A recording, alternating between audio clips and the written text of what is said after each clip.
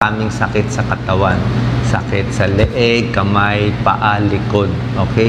Kaya ngayon, kanina ko pa iniisip, paano ituturo sa inyo itong mahirap na topic na gagaling kayo kung wala kayong perang pampacheck up, hindi kayo makapunta sa doktor. Okay? So, ganito gagawin natin. Marami sa atin, maraming sakit sa katawan. Itong topic na to general. Pwede siya sa leeg, sa kamay, sa likod, sa paa. Kung ano man ang sumasakit sa inyo. Meron akong five steps para mawala yung sakit nyo sa katawan. Okay? First step, kung ano man yung masakit, palagay natin na masakit yung kamay. Okay? Kamay o leeg. Ang first step, hanapin nyo kung nasaan yung nodule. Ano ang nodule? Para siyang lamig eh. Nodule, lamig, or sa English tawag nila mga tight knot eh. Yung mga dumidikit, tumitigas na muscle. Minsan, maliit lang siya, parang ganito lang siya.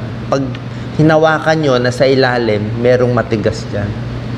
Palagay natin, dito masakit. Merong matigas yan, hahanapin nyo. Ito, ito yung katawan ng tao. Ang ilalim niya, may muscle. So, merong mga lamig-lamig, mga nodule yan. Pwede yan nasa leg. Focus mo, Doc Lisa. Pwede na sa leeg. Pwede yan nasa dibdib. Ako, meron yan nasa dibdib. Minsan, dito sa may ribs.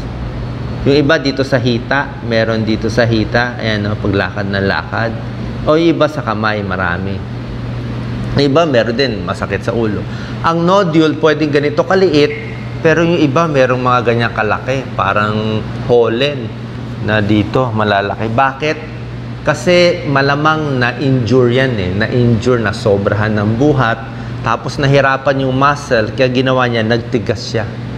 Umiksi siya, nagtigas. So ang gagawin natin, hahanapin mo. Like ako, kaya ako itong ginawang topic, meron masakit sa akin dito. Hindi ko siya gaano ma-open. Okay? So, nakita ko, meron ako mga nodule dito. Marami akong nodule dito. So, hanapin nyo. Number two, kapakapain, meron kayong makakapa dyan, parang matigas sa ilalim, matigas na masarap na masakit. Eh. Number two, pag dito ang masakit, palagyan natin itong area masakit, huwag kayong mag-focus lang sa pagmasahe nung masakit. Okay? Ang secret yan, like sa akin, dito masakit, minsan wala dito ang problema eh. Minsan ang problema niya either distal or proximal. Ibig sabihin, pwedeng palayo o palapit. So sa akin, masakit dito. Lisa, dito na lang focus mo. So pwedeng ako, nakita ko, ang matigas hanggang dito eh. Buo. Hanggang dito sa kamay. At dito rin pataas.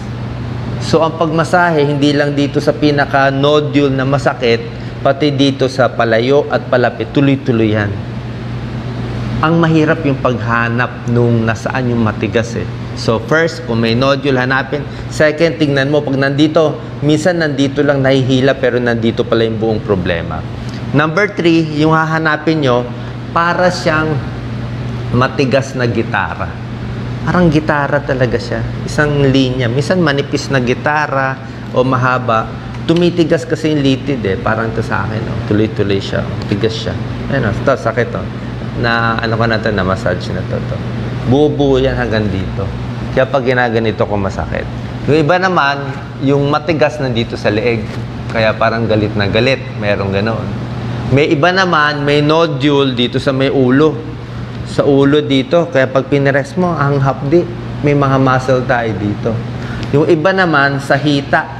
Meron sa hita, nandito, ah, tumitigas siya. Okay? So, hanapin mo yung nodule, tingnan yung buong linya na masakit, at imamasahin natin yun.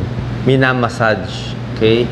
Ah, mas maganda iba gagawa, pero kung wala, sariling sikap, pwede sariling massage. Ito.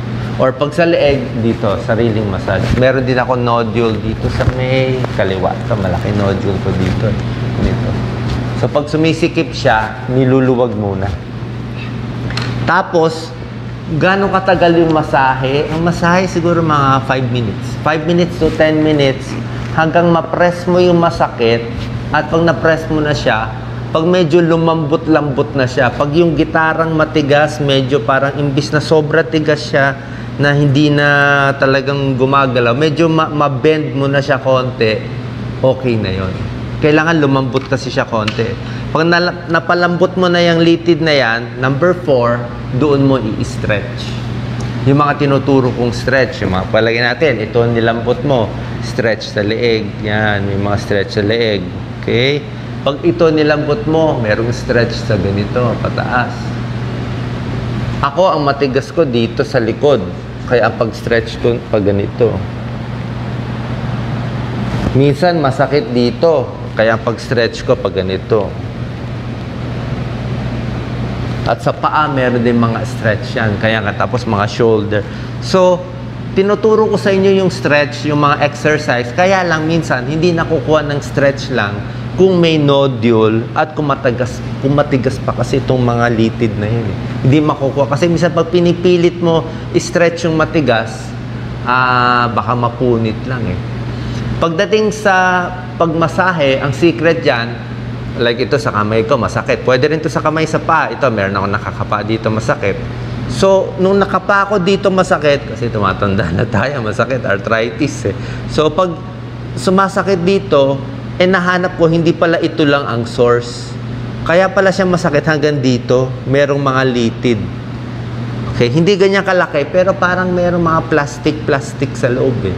Para siyang plastic na nakabalot, kailangan mo iluwag. Okay? So ito, minasage dito, minasage dito, sariling masahe. Tapos, pag na-massage mo na, doon mo na lang ini-stretch. Doon mo siya ini-stretch. Okay? Doon mo siya ini-stretch. Mas madali siya i-stretch pag na-massage mo na. Ngayon, after number 4, na-stretch mo na siya, ang number 5 step, ipapahinga mo muna. Kasi nagalaw mo na yun eh, kung ano man parte ng katawan. Pahinga mo muna ng 3 to 4 days, baka sumakit ng 1 day, 2 day. Pero pagdating ng 3rd day, 4th day, dapat wala na at pwede mo na ulit, ulit hanapin. Ayos ba yung ginawa mo? Mas lumuwag-luwag na ba yung pakiramdam mo ngayon na nagalaw mo na siya? Ako, tinitingnan, mas maluwag na ba? So, ganun po yung process. Okay? Pasensya na kung medyo malalim, pero ito talaga ginagawa eh. Ito talaga yung secret na nagawa ko sa sarili ko. Ito rin yung mga tinuturo eh. So bukod sa stretch, kailangan talaga minamassage. Ang problema lang sa likod. Pag sa likod, kailangan may ibang magmamassage. Ngayon, delikado ba? Actually, hindi naman delikado. Ang bawal lang ang galawin, ito lang, sa carotid, huwag mo lang galawin. Kaya huwag mo lang naman masyado itulak yung leg mo. Yung tama-tama lang. Pag nag stretch dapat ang pakiramdam, uh, parang nai-stretch siya, tapos may konting kirot, pwede. May konting kirot. Pero hindi pwede yung napupunit na talagang, alam mo, napupunit, nasusugat. Ayaw mo umabot sa ganon. Basta stretch na may konting sakit lang, pwede na yan. yan oh. So, yun po. Sana nakatulong tong video.